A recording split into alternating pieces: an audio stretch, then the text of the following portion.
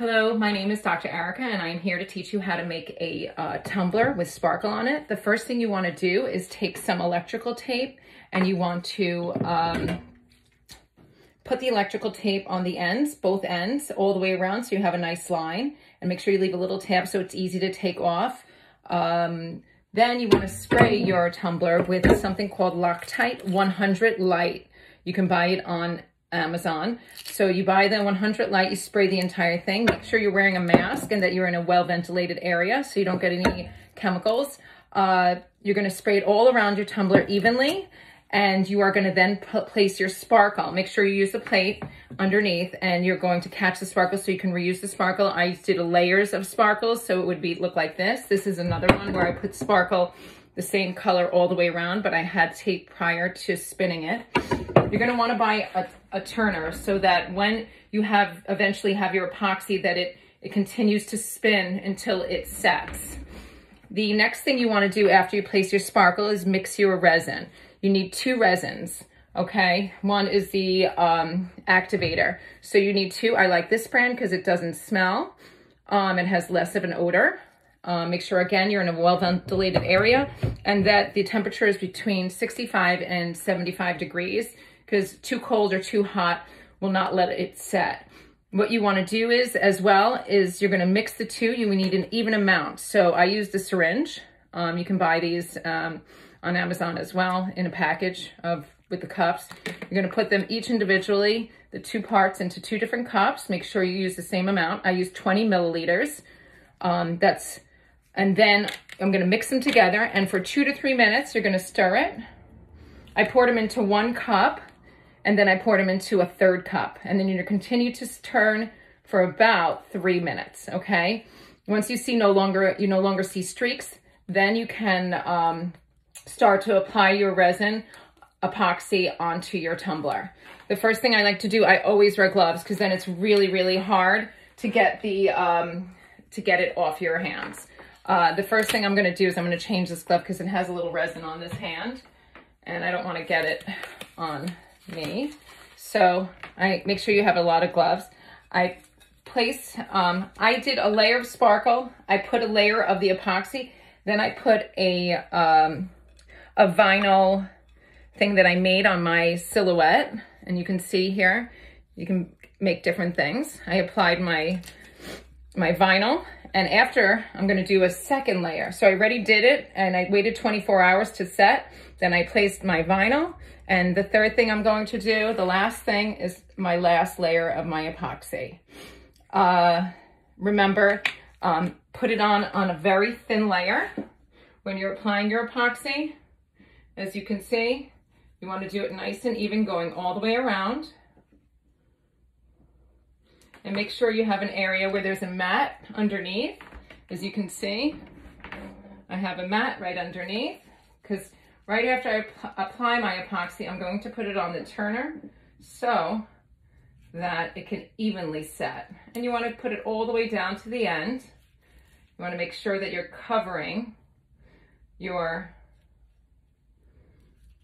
your vinyl and the reason that you want to put a second layer of epoxy is number one, you want to set your vinyl that you placed, but also, as you can see, I used a much thicker uh, sparkle towards the end, the, the, the darker blue, and it's a little bit on the rough side. I did sand it down with wet sandpaper, which you can also buy on Amazon, but uh, you really want to get that second layer. Some people actually do a third layer of epoxy but I'm gonna try to just do two layers and hopefully that will set it so that I can have my mug.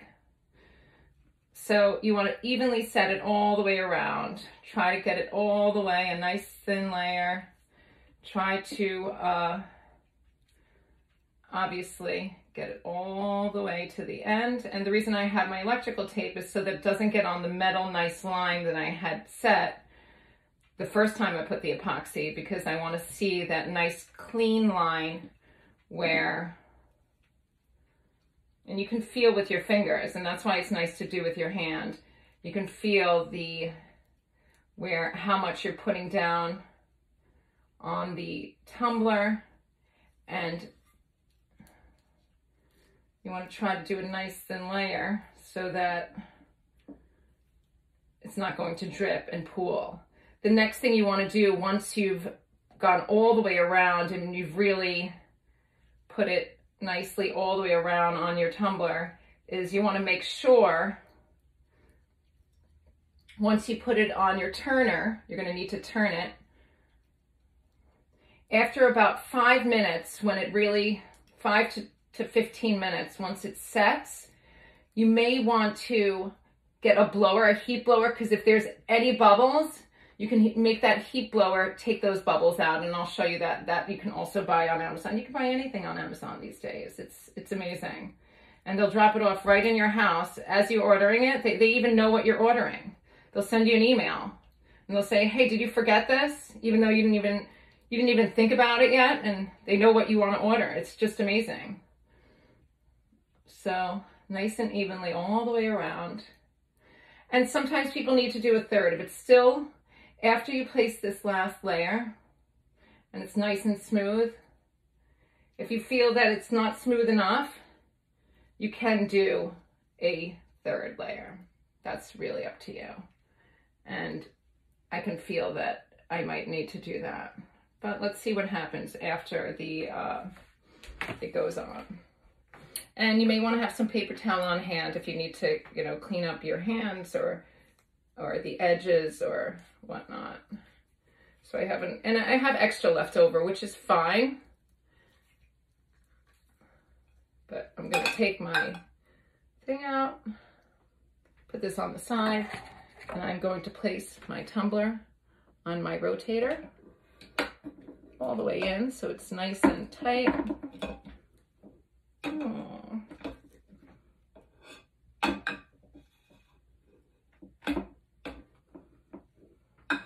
gonna glove. Excuse me for just a moment because, and you see you need something for the dripping. and the epoxy is super, super sticky. So you wanna make sure that it doesn't get onto your hands, but I clearly got a little bit on my hands and I found that using a, there we go, nice and smooth. And I'm gonna turn on my and I'm going to try to make sure that it's nice and even. Again, you want to make sure that you have something underneath. You have plates all around, you have paper towel, and this way you can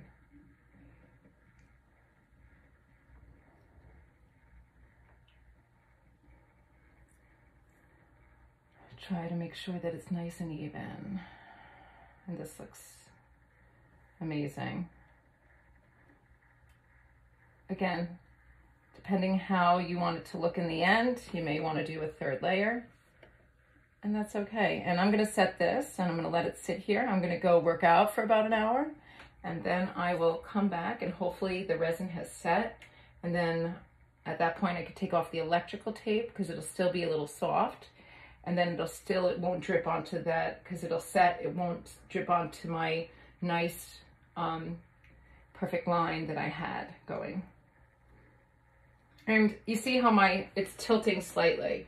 Um, this rotator that I have here is not my favorite.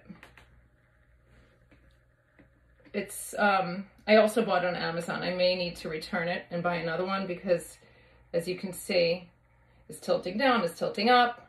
Just make sure you find one that's nice and secure. I know some people buy footballs from um, the dollar store and put it on the end you can use PVC piping and make your own and rotate it yourself. Some people do that, as you can tell.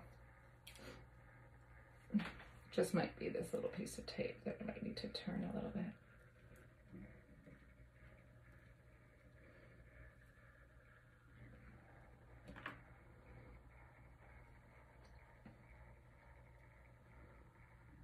I just want to make sure that it's nice and smooth. Okay.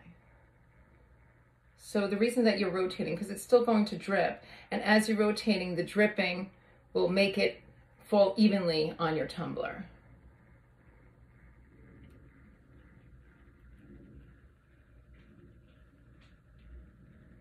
thank you for watching and I will return once the tumbler's done.